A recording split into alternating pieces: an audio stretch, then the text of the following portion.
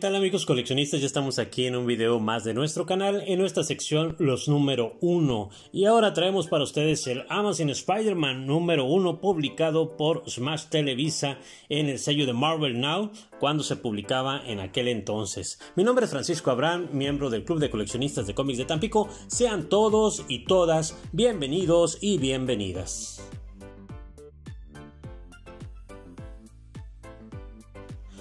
Pues bien, aquí tenemos el número 1 de eh, Amazon Spider-Man. Como verán, pues tenemos aquí también las variantes de esta serie de inicio. Esta fue una de las series que más variantes tuvo y en aquel entonces aquí en México era su apogeo. Apogeo de variantes, la verdad. Entonces estuvo la venta al por mayor de todos estos títulos que se publicaban. Esta serie se publica después de lo que fue Superior Spider-Man, que aquí checamos también ayer, si no mal recuerdo, lo que es el número uno de Superior Spider-Man y que después de esa serie pues regresa Peter Parker a lo que es pues su cuerpo ya, o sea la, la el inicio de nuevo del Amazon Spider-Man viene después de la finalización de Superior Spider-Man. Bien, pues esta es una de las portadas, si mal no recuerdo, esta es la portada regular de lo que fue, o al menos es lo que yo pienso, pero creo que también esta era la... Sí, aquí la metieron como portada variante, pero fíjense que de esta serie, pues vamos a hablar de ella próximamente, vinieron muchas portadas de Alex Ross. Como verán, pues aquí estas tres las vamos a tener libres para que chequemos esta que está aquí. Salió en 49 pesos y se publicó pues un año después de lo que fue el inicio de Superior Spider-Man el 14, el año 2014, el 25 de octubre se empezó a publicar, o al menos es la fecha de publicación. El sello del el 75 aniversario de Marvel destaca en la línea roja del Marvel Now de abajo, y todo esto pues traía lo que era un gran numerote 1 en la esquina superior derecha y el título El asombroso hombre araña en español y también regresa el Amazon Spider-Man en inglés. Y en esta esquinita de aquí abajo pues los artistas Slot, Ramos, Olazaba y Delgado que son los encargados de este genial número uno. En la parte de atrás todavía trae lo que son los comerciales, en este caso es de la mole una buena calidad, traía una calidad excelente, un buen gramaje, hojas interiores de papel couché, muy muy padre la verdad, era lo que tuvimos en estos números 1. Como verán todas eran pues con una diferente portada, pero pues el interior es el mismo. En este caso pues traía de este lado lo que era el logotipo de Marvel Now, este lo trae en la parte de acá arriba me gustó más cómo está acomodado esta de Alex Ross con todo acá arriba, excepción de que el código de barras está aquí en este lado. Esta genial portada también se ve brutal con estos tonos de color, también fue impresionante. No sé ustedes con cuál se quedaron, si escogieron solamente una.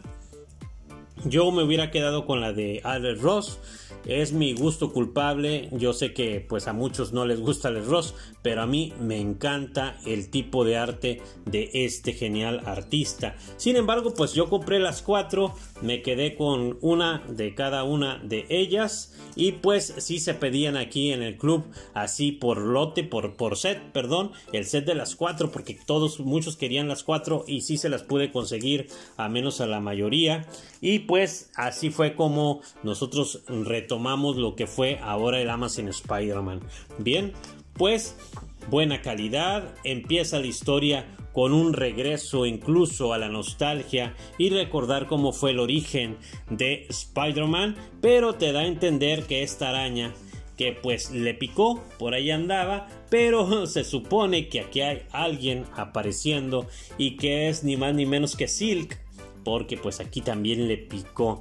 Esto ya cambia lo que es lo que conocimos durante tantos años, que Spider-Man era el único que había sido picado por esta araña radioactiva, así que aquí ya te agregan lo que es este personaje en esta numeración, donde pues en el número en números más adelante vamos a tener la primera aparición de Silk ya como pues heroína con estos superpoderes. Y dentro de esto, esta es la introducción del regreso de Spider-Man, Peter Parker en el cuerpo de nuevo.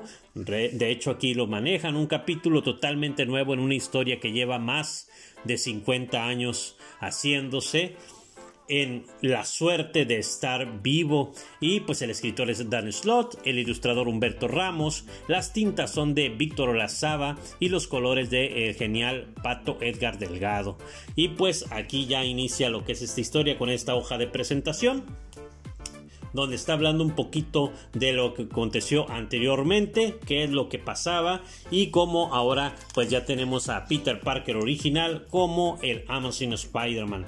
El dibujo de Humberto Ramos llama mucho la atención, también igual se ha rodeado mucho de colores muy padres, coloristas que le han sabido dar el tono, el toque al arte de Humberto, se ve impresionante, aunque claro está que tiene sus retractores, tiene sus ahí sus haters. Sin embargo, pues a mí siempre me ha hecho pues vibrar de emoción con muchas de las escenas, aunque claro que la deformidad de algunos de sus cuerpos a veces no me deja llevar bien lo que es la lectura. Sin embargo, pues yo creo que es más plus, es más que bien, a que mal.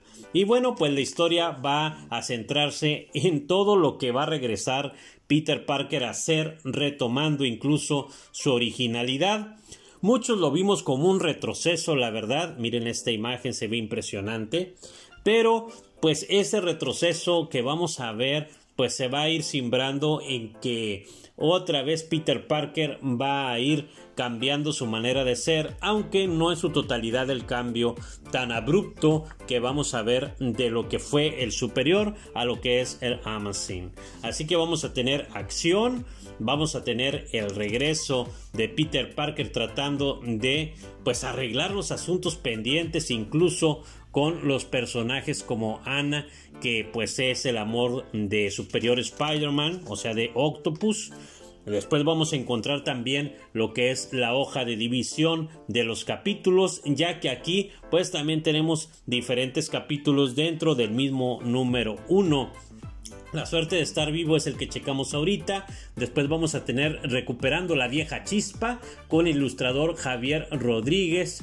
Después, y las tintas son de Álvaro López. Después tenemos Caminos Cruzados de Josep Gabuncoli, que es excelente, excelente ilustrador. Y las tintas son de John Dell, de Gam Smith. Los colores también de diferentes autores. Cómo funcionan mis cosas, que es el ilustrador Chris Heliopoulos y después y también escrito por Joe Caramaña tenemos también Vuelta a casa más o menos que es el ilustrador Will Sliney o Sliney Peter David es el escritor. Y después tenemos también Kane con lo que es el ilustrador David Baldión. Y el escritor es Chris Jost. También tenemos las tintas de Jordi Taraño, Taragoña. Y tenemos también a lo que es por último Aprendiendo a gatear asombrosa realidad del ilustrador Ramón Pérez y las, el escritor es Dan Slott con los colores de Ian Herring. Por último ya tenemos aquí los que han participado en portadas variantes, etcétera. Después de esta explicación más o menos, pues vemos, vemos todo lo que conlleva este número uno, que son todos estos personajes que van apareciendo en estas mini historias. Como verán, va a variar el arte como ya lo vimos. Miren, aquí está la de Heliopoulos, este dibujante que dibujaba lo de Marvin, ¿no? Y tenemos aquí a más, más historias dentro de este genial número uno. El arte, pues en muchas de ellas se ve impresionante, otros no tanto, pero hay para todos, para todos los gustos. Aquí está la de Kane, también con otro artista.